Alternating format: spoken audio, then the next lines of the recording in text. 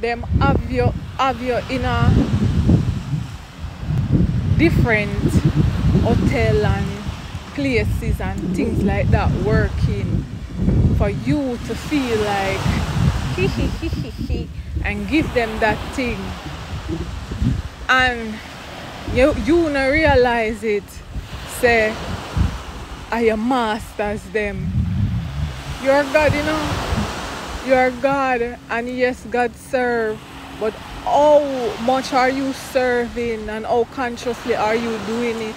Not being knowing that you're not being manipulated by them. You don't want to see uh, uh, uh, some black people in the hotels that you serve now. You're just gonna be like this with the whites forever. Oh sir sir ma'am.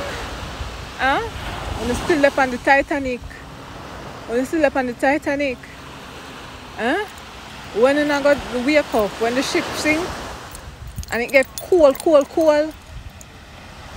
Anyways, we never come to judge, you know. Just come to speak the truth, you know. And just want I and I brothers and sisters hear the truth and know the truth.